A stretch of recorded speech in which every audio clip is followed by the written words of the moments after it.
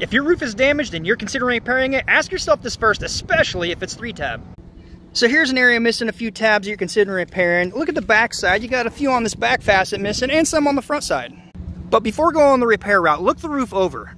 Consider how old the roof actually is, how much life expectancy you have left, the amount of granule loss, and the repairability of the roof. If you do choose the repair route, make sure who you choose to do the repair is competent enough to do a decent job.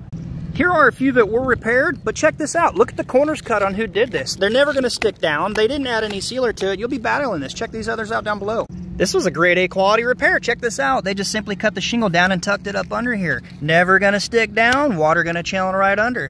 You wouldn't just throw your hard-earned money away in the trash can. Why do it on your roof?